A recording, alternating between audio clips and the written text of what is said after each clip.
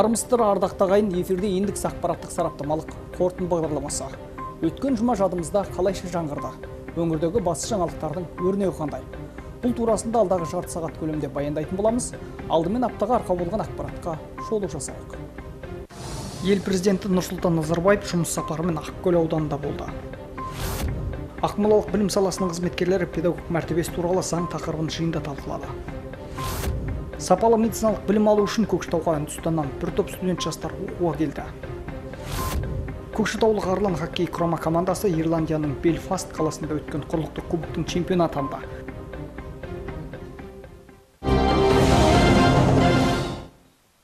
Осы аптадағы елді елең еткізген айшықты оқиғаның бірі елбасының ақкөл ауданына жұмыс сапары.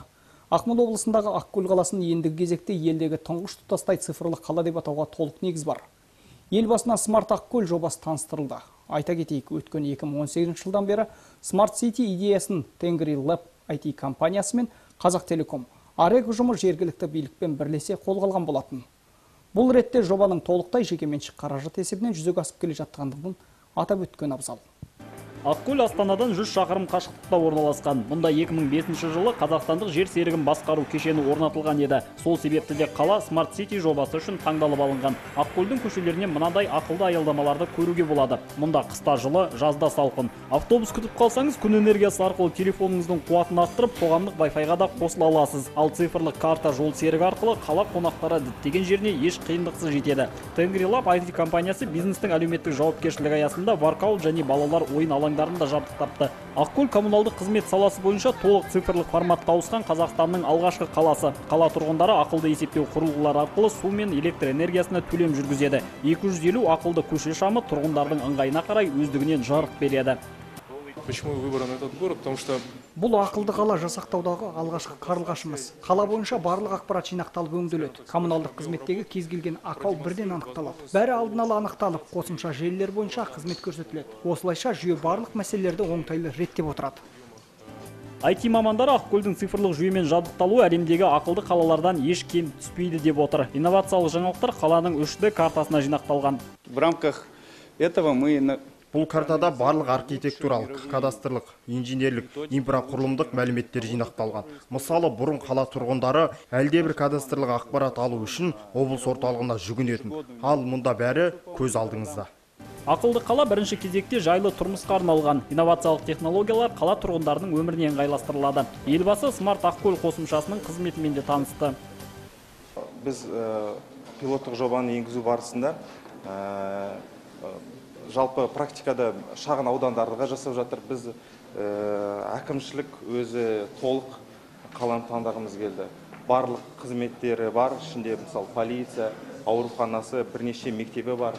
Ә, тұтас ә, оның жалпы халық тұрғындарының әлеуметтік жағдайына және де қысқа уақытта бұл пилотты өткізу үшін бізге көп инженерлік ресурстарды осыларға тарту керек болды Ақкөлде 70-тен астам интеллектуалды бейнебақылау камералары орнатылған. Олар автоматты түрде қарақшылық шабуылдарды, қараусыз қалған заттарды, жол ережесін бұзу деректерін, тіпті қаруды өздігінен анықтап хабар береді. Мектептердегі бақылау жүйесі балалардың қауіпсіздігін қамтамасыз етеді.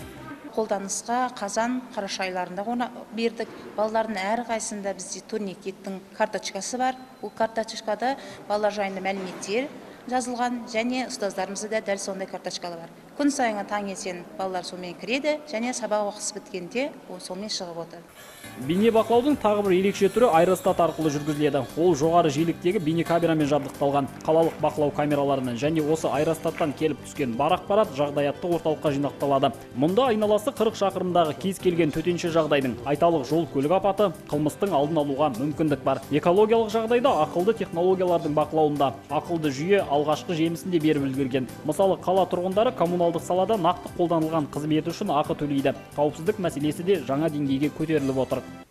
В рамках энергоэффективности көшедегі қылмыс саны күрт төмендеді ұсақ бұзақылықтар тіркеу күрт өсті себебі ақылды жүйе ешбір құқық бұзушылықты назардан тыс қалдырмайды Пәтерлерде өрт қауіпсіздігі жүйесі орнатылған. Барлық қоғамдық көліктер мен мемлекеттік қызмет автокөліктері GPS құрылғысымен жабдықталған. Елбасы смарт Ақкөл жобасын оң бағалады. Я поручал провести здесь пилотный проект. Во-первых, надо людей учить, правильно, как этим управлять. Для этого Аккуль очень удачная точка. Наша задача это сделать по всему Казахстану. И все эти данные будут в одном месте, допустим, в столице Астане, да? И можно управленческие решения принимать, э, анализируя всю ситуацию по Казахстану. Жүйені жабдықтауға 2,5 миллиард теңге қаржы жұмсалған. Бұл тұтас қала тұрғындарының жайлы өмірі үшін аса көп шығын емес. Бұл жоба ақылды қалалар қандай болу керек деген сауалға жауап боларлық. Болашақта мұндай жүйелер қазақстанның барлық қалаларына таралады. Ал технологиялар бұдан күрделі болмақ. Яғни өмір сүру сапасы артады.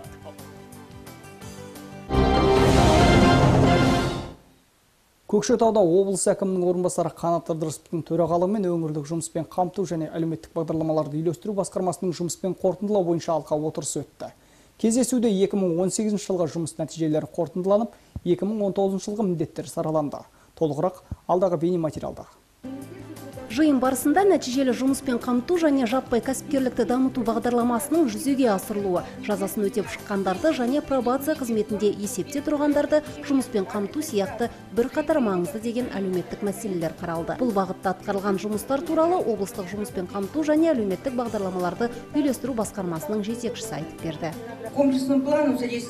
Тұрғындарды жұмыспен қамту кешенді бағдарламасы аясында қолға алынған шараларға 27,8 мың азамат қатысты. Сөйтіп, облыс бойынша кешенді жоспар 135 пайызға орындалғанмен, кейбір аудандарда жоспар толық көлемде жүзеге асырылмады. Мәселен, Қорғалжын ауданында қысқа мерзімді оқытудан жылдық жоспар 6,9 пайызға орындалмады. Мемлекеттік бағдарламалар аясында жұмыс орындарын ашу 5 ауданда тиісті көрсеткішке жетпеді.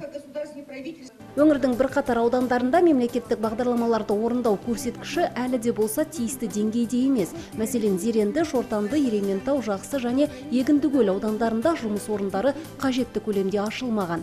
Десе де облыс бойынша бұл көрсеткіш 106,5 пайызға жетіп отыр. Аршалы ауданында да мемлекеттік бағдарламалардың орындалу көрсеткіші тиісті межеге жеткізілмеген.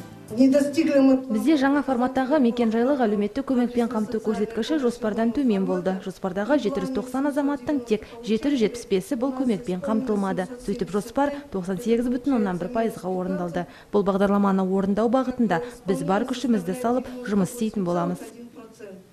Облыс әкімінің орынбасары Қанат Ыдырысов мемлекеттік бағдарламаларды үйлестіру бағытында жұмыс істейтін мамандардың өзара тәжірибе алмасуын жолға қою қажеттігін алға тартты. Сондай-ақ тақырыптық семинарларды көбірек өткізіп, мамандардың нәтижелі және сапалы жұмыс істеуіне қажет арнайы жоба әзірлеуді тапсырды. еңбекпен қамту жұмысын тиімді ұйымдастырудың жолдары қандай атаулы әлеуметтік көмек пен әлеуметтік қорғау мәселелерінде қандай қағидаттарды басшылыққа алу қажет жұмыспен қамту орталықтары басшыларының дін істері мемлекеттік кірістер әлеуметтік сақтандыру қоры қызметкерлерінің қатысуымен өткен арнайы семинарда осы және өзге де сауалдарға жауап берілді. Әлеуметтік қызметкерлердің кәсіби және іскерлік шеберліктерін арттыру аса маңызды. Себебі бұл мамандар екі қолға бір күрек іздеген жандарға көмек көрсетіп мүмкіндігі шектеулі азаматтарға қамқорлық танытуға міндетті. Жат ағымның ықпалынан жапа шеккен тұрғындарда әлеуметтік қызметкерлердің біліктілігіне сенім артады. Жиында сала қызметкерлеріне әлеуметтік қызметтің соңғы жаңалықтары таныстырылып жұмыс барысында қолдану жолы түсіндірілді. На сегодня э, внесены изменения и дополнения в. Бүгінгі таңда әлеуметтік қызмет саласындағы заңнамаларға толықтырулар енгізіліп отыр. Осы орайда 2019 жылға белгіленген көрсеткіштерге қол жеткізу үшін біз өз жұмысымызды қайта ұйымдастыру жолдарын қарастыруға тиіспіз. Ол үшін әрбір маман заң талаптарын жетік біліп, өз жұмысын сапалы орындауы керек. Заңды білумен қатар оның талаптарын бұлжытпай орындау әлеуметтік қызметкерге жүктелген міндет. Сол себепті семинар қатысушылары өз еңбек салалары бойынша тың жаңалықтарды талдады. Мысалы бір реттік жалпы төлем жүйесін қолданысқа енгізу мәселесі көпті толғандырған сауалдардың бірі. Физические лица Бұл талап жеке кәсіпкер ретінде тіркелмеген кәсіппен айналысатын жеке тұлғаларға қатысты. Егер олар тек қана жеке тұлғаларға қызмет көрсетсе және жалдамалы қызметтері болмаса, міндетті түрде бір реттік жалпы төлем жасауға тиіс. семинар қорытындысы бойынша өзара әріптестік жоспары жасалды оның негізгі басымдығы азаматтарды еңбекпен қамту болмақ семинар қатысушылары бұл бағытта тек сапалы қызмет көрсету арқылы ғана тиісті жетістікке жетуге болады дейді енді педагог 48 жасында зейнетке шығуы мүмкін. Алайда ол өз жұмысын әрі қарай қанша жыл жалғастыра алады? Ұтар тұсы қайсысы ұтылары қайсысы көкшетаулық мектеп директорлары мен мұғалімдері нұр отан партиясының облыстық филиалы мен білім басқармасы білім бөлімі мамандарымен осы және өзге мәселелер талқылады Бұған дейін мұғалімге қатысты өзекті мәселелер тек білім туралы заңда ғана қарастырылса, енді оларға педагог мәртебесі беріліп, ерекше көңіл бөлінбек. Білім басқармасы мамандарының айтуынша, мұғалімдер үшін үлкен істің басы қайырылмақ. норме закона об образовании. Айтулы заңда педагогтың мүмкіндіктері көбейгелі отыр. Оның абыройы мен мәртебесі артпақ. Материалдық жағдайы да жақсармақ. Мысалы үздік жыл мұғалімі атанғандарға бір реттік сыйақы берілмек. Сондай ақ ыбырай алтынсарин төсбелгісінің иегерлері мен үздік білім қызметкерлеріне де ақшалай сыйақы қарастырылады. Осылайша көп мұғалімнің тілегені қабыл болмақ. Көкшетаулық мұғалімдер де өз ұсыныстары мен көзқарастарын ортаға салды. Айтуларынша, олар тапсыратын біліктілік тестілеудің мазмұнын өзгерту қажет. Тәжірибелі мұғалім тұрмақ, жаңадан келген жас ұстазға тест сұрақтары мүлдем қиын. Сондай-ақ мерзімді басылымдарға жазылу ретінде қарастырса екен дейді. Енді бірі педагогтың 48 жасында зейнетке шығуының кейбір кемшін тұстары барын айтады. Поэтому хотелось бы егер мұғалім зейнетке ерте жастан шықса одан әрі қарай ол өз мамандығы бойынша жұмысын жалғастыра алады ма? сол мәселе нақтыланбаған яғни бес я үш жыл еңбек ете алады деп дәл көрсетсе дейміз. сондай ақ зейнетке ерте шықса оның бірыңғай жинақтаушы зейнетақы қорының жай күйі қандай болмақ? Мұғалімдер егер 30 жыл үзбей дәл осы салада қызмет етсе ғана зейнет жасына ерте шыға алады. Алайда бұған келіспейтіндер де бар. Сондай ақ жаз айында қабылданатын жаңа заңда тек педагогтың мәртебесі көрсетілген дейді ұстаздар. Сондықтан әкімшілік корпустың да жағдайына назар аударылса дейді.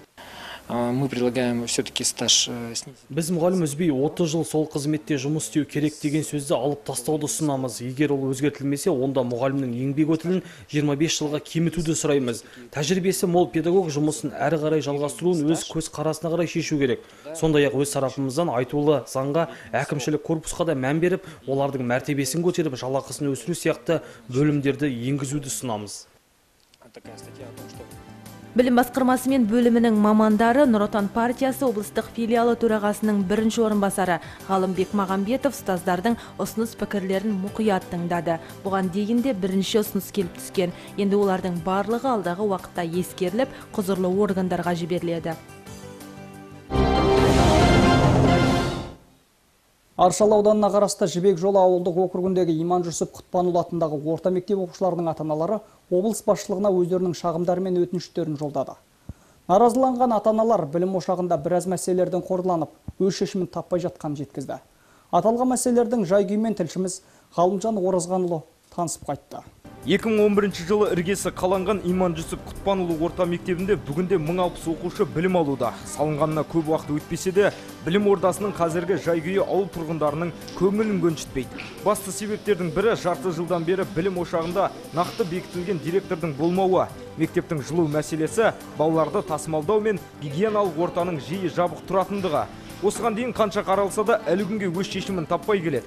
Қордаланған мәселелерге көңілі толмаған ата-аналармен кездесу барысында облыс әкімінің орынбасары Айна Мүсірәлімова аудан басшылығымен бірлесіп мәселенің түйткілін шешудің жолдарын қарастырды. Ал мектеп басшылығы білім ошағының суық болуының себебі ғимарат көлемінің тым үлкендігі мен көмірдің сапасыздығында екендігімен түсіндірді. Негізі бұл мектеп 2011 жылы құрылған. 2011 жылы құрылса да мен осы мектепке келген өткен оқу жылында 2017-2018 оқу жылында келдім. Бірақ сол жылдан бері осы мектепте қыс кезінде осындай салқын. Енді батареяларда осы уақытқа дейін бізде 70 градус температура ұстап тұрды.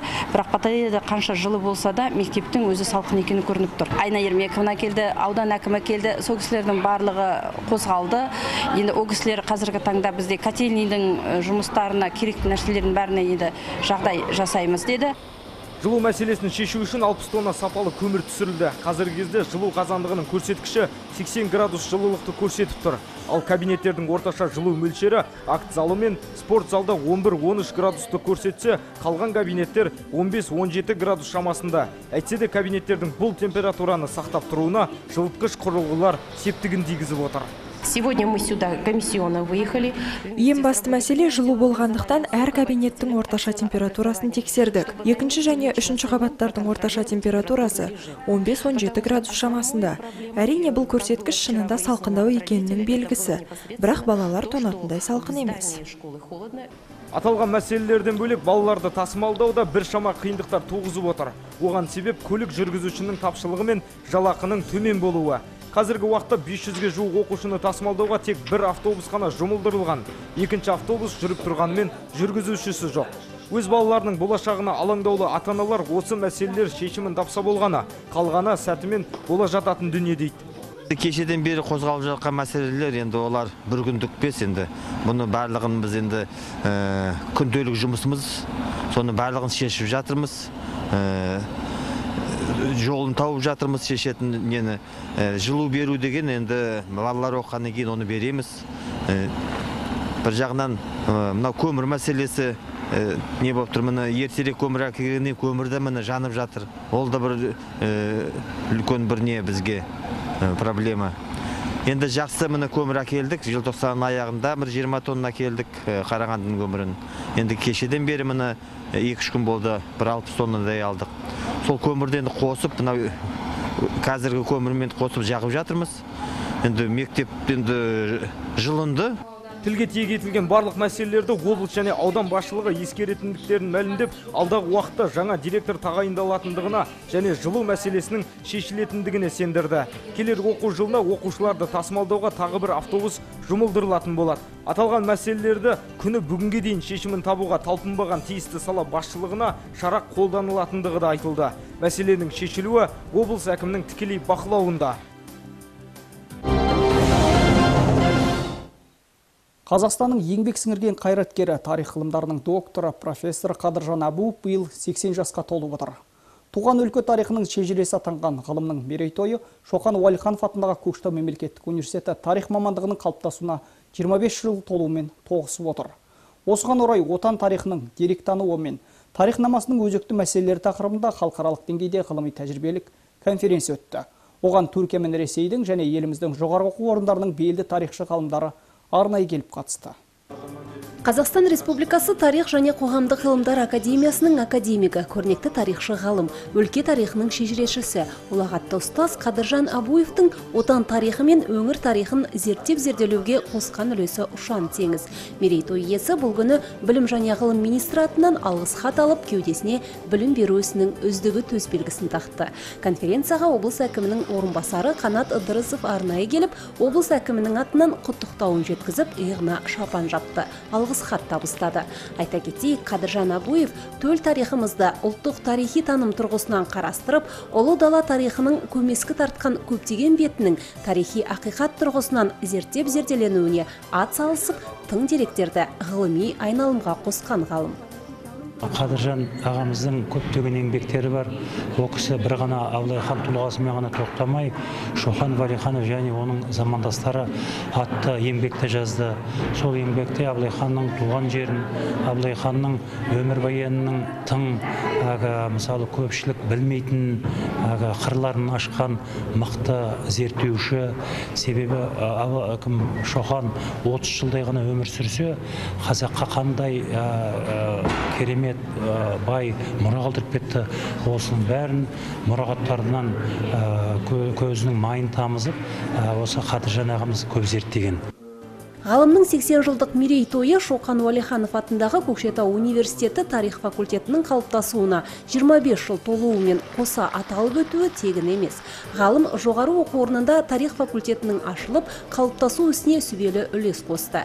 Өз мектебін қалыптастырды. Жалпы Қадыржан Абуев Қазақстанның жоғары оқу орындарының профессор оқытушыларының топ 50 тәуелсіз рейтингісінде топ жарған ғалым. Оның ғылыми еңбектері еліміздің ғана емес, шетелдің ғылыми көрмелерінде де лайықты бағасын алып жүр. Бұл кісінің жазған кітаптары жазған еңбектері ә, абылай хан жөнінде абылай хан жөнінде шоқан уәлиханов жөнінде кенесары хан жөніндегі бізге үлкен үлгі. Алдымызда алдымызда жол бастап жүре берсін бұл ағай. Бұл кісінің 80 жылдығына келгеніме мен де қуаныштымын. Және жалпы көкшетау өңіріне осы жердегі университетпенен бірге істесу жөнінде келісім шарт әкелдім.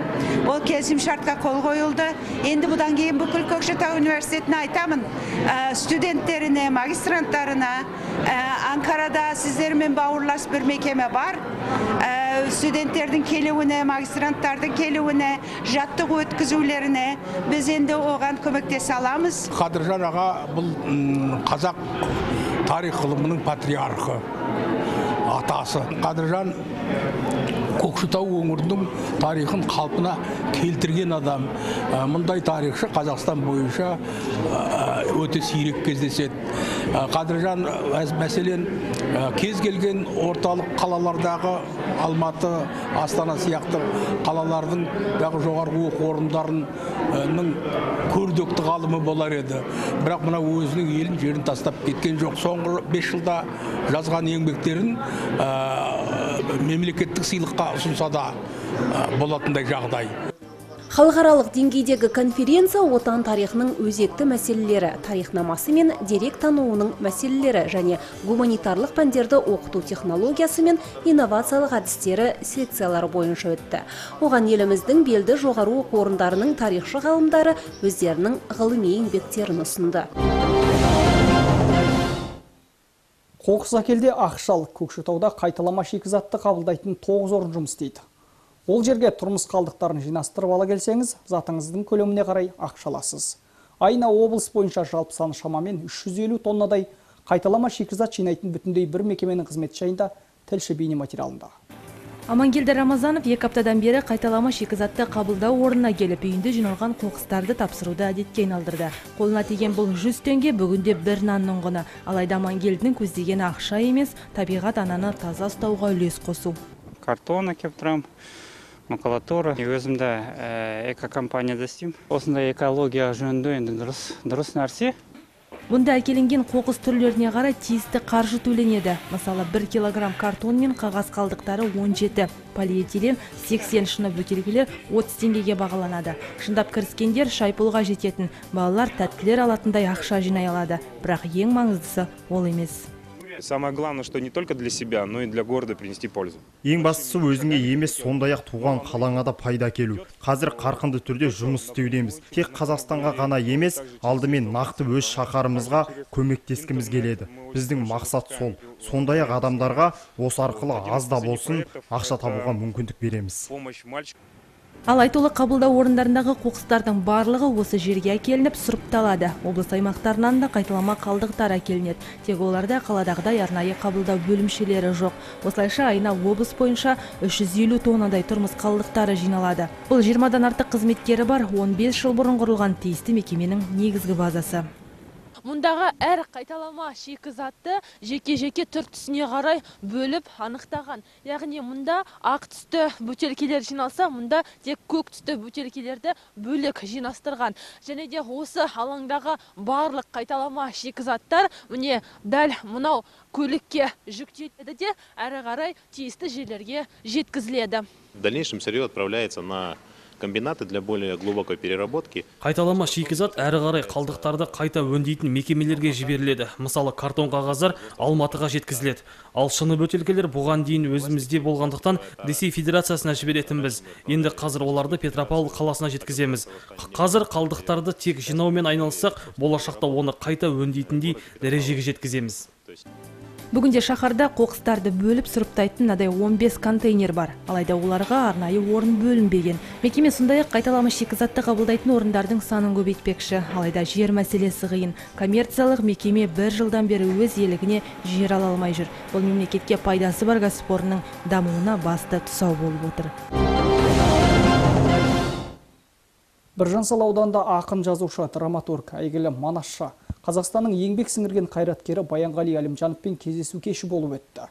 Кеш барысында қаламгердің өмірі мен шығармашылық жолы хақында салиқалы сұхбат құрылып, «Сказ столетнего степняка» кітабы таныстырылды. Баянғали Әлімжанов бұрынғы Көкшетау облысы еңбекшілдер ауданының Степняк қаласында дүниеге келген шығармашылық сара жолын қалыптастырған қайраткер бүгінде 30-дан астам кітаптың төрт көркем алты деректі фильмнің авторы топырағының шаңына аунап өзі өсіп өнген ортаның жұртшылығымен қауышты әдеби шығармалармен халық көңілін көншітіп ішкі жан дүниесіне терең бойлап рухани азық сыйлай білген қаламгер кеш барысында бүгінгі әдебиеттің жай күйінен сыр шертіп жерлестеріне мұра боларлық сказ столетнего степняка кітабын қалың көпшілікке таныстырды. Сиясы кеппеген кітапта еліміздің 30 жылдардағы репрессия ұлы отан соғысы кезеңінің қиыншылықтары мен соғыстан кейінгі жылдардағы әлеуметтік жағдайы тәуелсіздікке жаңа қадам басып келе жатқан кезеңдердегі халық тұрмысы қамтылған. Туған жер адамға ыстық қой қашанда. Сондықтан мынау бүгін келіп өзіміздің халқымызбен адамдармен елмен жұртпен кездесу кеші бұған енді және бірнеше себеп бар. Бұнда мынау аудан әкімшілігінің бастауымен аудан оқу бөлімінің қолдауымен мұғалімдердің талабымен оқушылардың енді әлгі елбасымыздың несінде де айтылып жатыр ғой мақаласында да. Туған жеріңге туыңды тік туған жеріңді ардақта деген сондықтан да жаңағы туған жерден шыққан тұлғалардың еңбектерін таныту деген мәселелер айтылып жатыр ғой малая родина деп. Сол секілді менің де осы өзімнің туған жерімде менің шығармашылығымды мектептерде оқыту баянғалиді оқулары деп тарату ісіне бұл кісілер кірісіп жатыр екен біраз болыпты соны енді маған соған шақырған ғой осының куәсі болыңыз көріңіз міне біз сізді осылай оқытып жатырмыз деп. Бұл бір екіншіден менің бірнеше жаңа кітаптарым шықты. Соның ішінде мынау айтулы бір дүние сказ столетнего степняка деген роман сказание о казахско русско немецкой войне и дружбе. Орыс тілінде жазылған роман. Бұл жүз жасаған қарияның басынан өткен тарихы біздің қазақ елінің жүз жылдық тарихын көркем шығармаға көркем тілмен астастырып отырып жасалған дүние. Жиылған жұрт проза драма поэзия айтыс өнерін актерлікті қатар ұстап қазақ әдебиетінің өркендеуіне елеулі үлес қосып келе жатқан баянғали әлімжановқа көкейде жүрген түрлі бағыттағы сұрақтарын қойып тұшымды жауаптар алды. Бұдан бөлек ақынның сөзіне жазылған әндер шырқалып өлеңдері оқылды. Биылғы жылдан бастап біржан сал ауданында жыл сайын дәстүрлі түрде баянғали оқулары өткізілетін болады.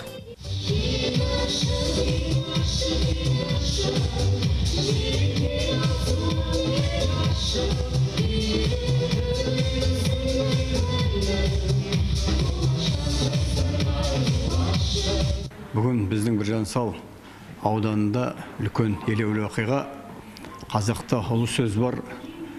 Ұлым дейтін ел болмаса елім дейтін ұл қайда туады дейді.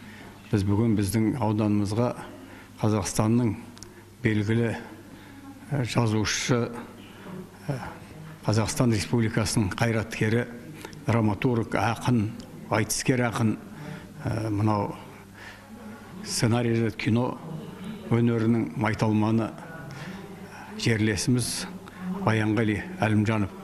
Келіп халықпен кездесу өткізіп жатыр мынау елбасымыз нұрсұлтан әбішұлы назарбаевтың болашаққа бағдар рухани жаңғыру бағдарламасының аясында өткізіліп жатқан үлкен іс шара сол туған жерге туың тіптеп туған ел бағдарламасының аясында осы бүгін елге келіп бүгінгі бүгін қатынасып отқан қауым бұл мектептің ұстаздары қазақ тілі әдебиет пәнінің ұстаздары орыс тілі әдебиет пәнінің ұстаздары және мектеп түлектері бүгін келіп сол жас ұрпаққа деген үлкен тәрбиелік мәні бар іс шара. Енді баянғали ағамыздың бұл кісінің прозасын білеміз. Бірнеше он екі томдық толық жинақтары шықты. Бұл кісіні ақын ретінде білеміз. Бұл кісінің туындылары керемет өзінің философиялық мынау тәрбиелік мәні бар. Баянғали әлімжанов қазақтан шыққан бірден бір манасшы 1995 жылы қырғызстанда манастың мың жылдығына арналған халықаралық манасшылар байқауына қатысып арнайы жүлдеге ие болған. Кино саласында да бірқатар еңбектері жарық көріп сыни зерттеулерімен жыршылық өнермен өрелі жұртын таңдандырып жүрген қаламгердің халқына бергеннен берері мол екені сөзсіз. Сапалы медициналық білім алу үшін Көкшетауға Үндістаннан бір топ студент жастар оқуға келді. Шоқан Уәлиханов атындағы Көкшетау мемлекеттік университеті 33 үндістандықты оқуға қабылдады. Білім алушылар үшін барлық қажетті жағдай жасалған. Айта кету керек, сабақтар ағылшын тілінде өтеді. Ал түскі ас мәзірі үнді асханасына сай әзірленеді.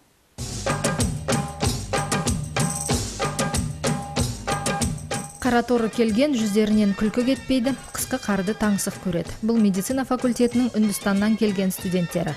Бұл жерде олар жалпы медицина бойынша білім алады. Пуджа чанчел және дарти қысқы киімді біздің елден сатып алған. Жыл 12 ай ыстықта өмір сүріп үйренген үндістандықтар үшін қыстың қақаған аязы да ақ ұлпа қар да ерекше әсер қалдыруда. Студент қыздар ауа райының салқындығына қарамастан өздерінің ұлттық киімдері сариді күн жылынғанда міндетті түрде киетіндеріне сенімді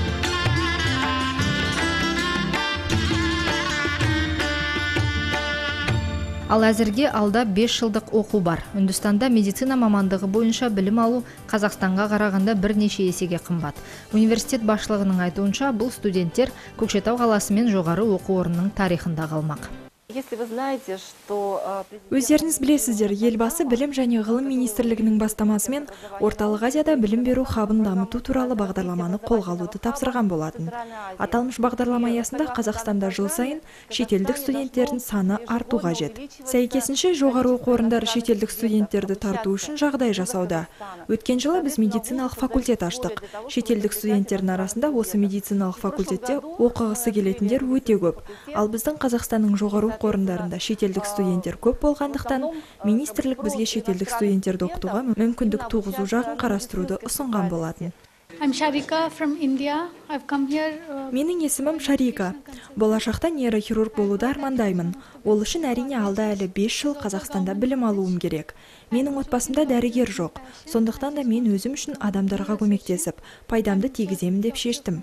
Ата аналарым менің диплом алып білікті маман болып шыққанымды күтіп отыр. Олар мені басқа мемлекетке оқуға жіберуге қорыққан жоқ. Себебі мен жалғыз емеспін. Достарыммен бірге келіп отырмын. Студенттер бөлек жатақханаға орналастырылған. Аспазшы ольга үнді халқының ұлттық тағамы чапатиді үлкен шеберлікпен әзірлеуде. Қысқа уақыттың ішінде ол үнді халқының тағамдарын дайындауды әжептәуір үйреніп алған. Оның айтуынша тамаққа арналған ыдыс барлығын студенттер өздерімен алып келген. Бұршақ жасымық және көптеген дәмдеуіштер қосылған тұздық үндістандықтардың сүйікті тағамдары.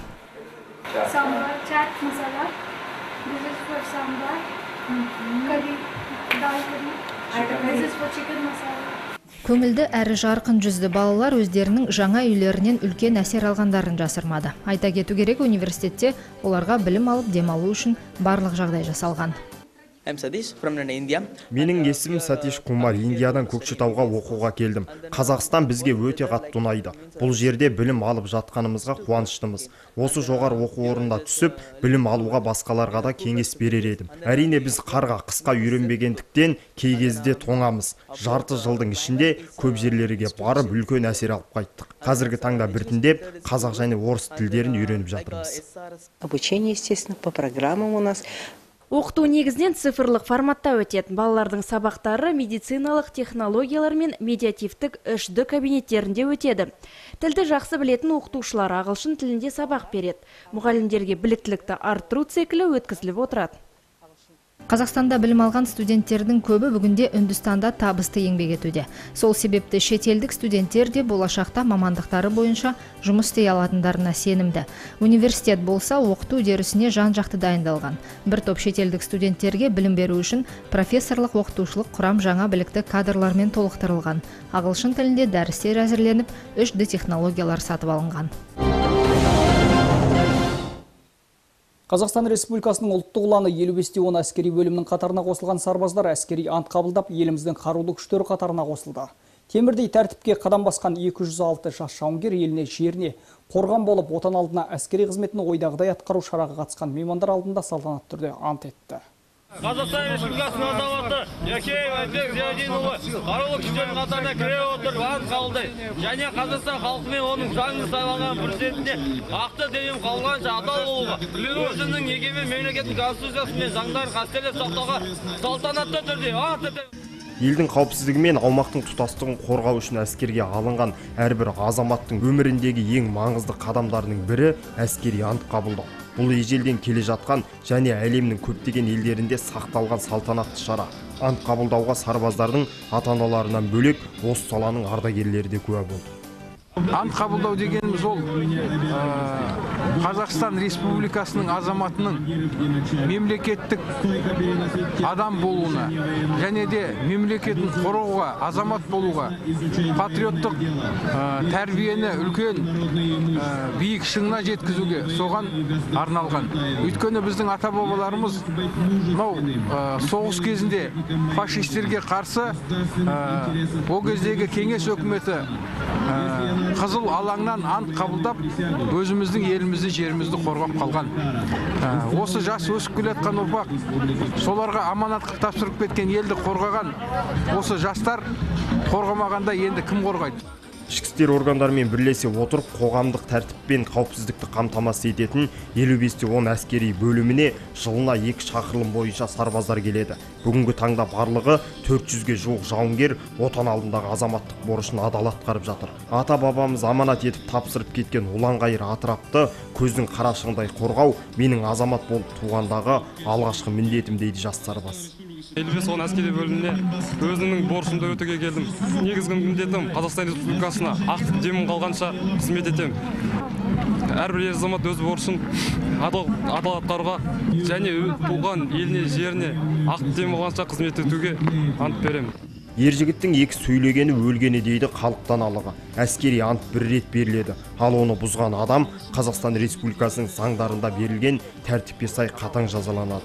2018 жылдың екінші шақырылымда келген жас сарбаздар салтанатты шарада ант қабылдаудан бөлек саптық жүріс жасап 55-те 10 әскери бөлімінің ішкі тәртібімен түгел танысты. Арлан хоккей клубы жаңа белестерді бағындырды. Өткен маусымда Қазақстан Республикасының чемпиондары атанған Көкшетаудың Арландары Қазақстанның хоккей тарихында болмаған жетістікке қол жеткізіп, құрлықтық кубокты ел қанжығасына байлады. Толығырақ әріптесім Байболат Ерғанат баяндап береді континенталды кубоктың суперфиналы ирландияда өткізілді. Бірінші ойында арлан 4-2 есебімен польшаның катовиц командасын жеңді. Содан кейін беларусиялық комел құрамасын 8-2 есебімен тізе бүктірді. Ақтық мәреде қызыл жейделі сойқандар ирландияның виллест жайентс командасымен кездесті. Ойынның алғашқы минуттарында арлан командасының сұрмергені сергей егоров пен вадим ермолюк қожайындардың қақпасынан саңлау таба білді. Үшінші кезеңде алаң қожайындары лайықты қарсыластық танытып таразы басын теңестірді. Осылайша ойынның негізгі уақыты тең нәтижемен аяқталды. Улиттік серияда мүлт кетпей өз мүмкіндігін тиімді пайдалана білген евгений косников үште екі есебімен арлан командасына жеңісті сыйлады.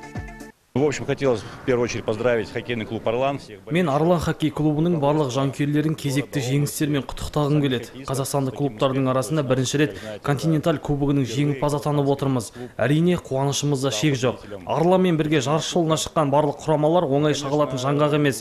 Барлық командалар жақсы деңгейде лайықты қарсылас бола білді, әсіресе финалдық ойындарда. Соған қарамастан арландықтар жақсы ойын өрнегін көрсетіп, кім мықты екенін дәлелдеді турнир кестесінің қорытындысы бойынша арлан 8 ұпай жинап белфест Giants командасынан бір ұпай алға шықты. Ал үш ұпайға қол жеткізген катовиц командасы үшінші орынға табан тіреді. Турнир кестесінің төртінші сатысына барлық кездесулерде қарсыластарына есе жіберген гомель командасы жайғасты. Халықаралық дүбірлі додада ұлттың намысын ту еткен чемпиондарды туыс туған жақындары достары мен әріптестері әуежайдан қошеметпен қолпаштап күтіп алды.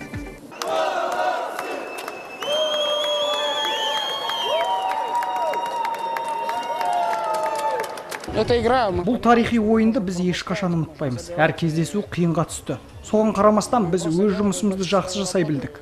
Тынбай еңбек еткеніміздің арқасында осындай жетістікке жеттік.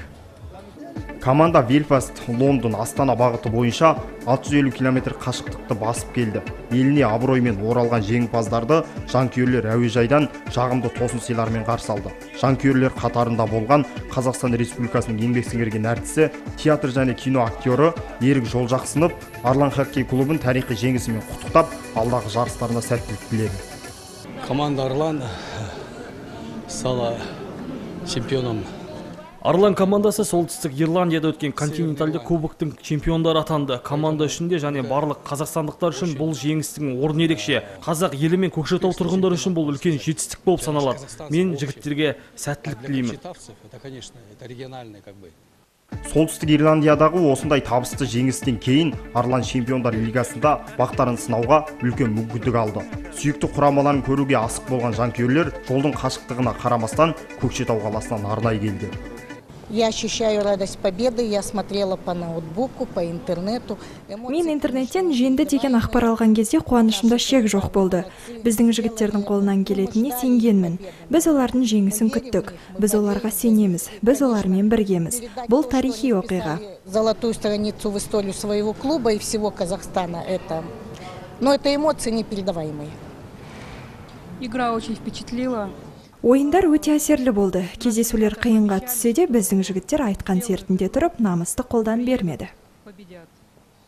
Соңғы бірнеше жылда қазақстан континенталды кубогының жүлделі орындарына ие болып жүр. Өткен маусымда номад екінші орынды иеленсе 2017 жылы бейбарыс 2018 жылы өскемен қаласының торпедо командалары қола медальмен марапатталған. Ну, самое запоминающееся в матче, это, естественно, сама ең есте қаларлық бұл ойынның өзі бұл керемет ойын. Қатысқан командалардың деңгейі тең. Сонымен қатар ойынның өте әсерлі сәті буллиттік серия кезеңі болды континенталды кубогы европа футбол лигасының баламасы ретінде саналады. Сонымен қатар 2009 жылдан бері хоккей федерациясының қолдауымен өткізілетін ерлер клубы командаларының арасында хоккейден жалғыз халықаралық турнир болып есептеледі.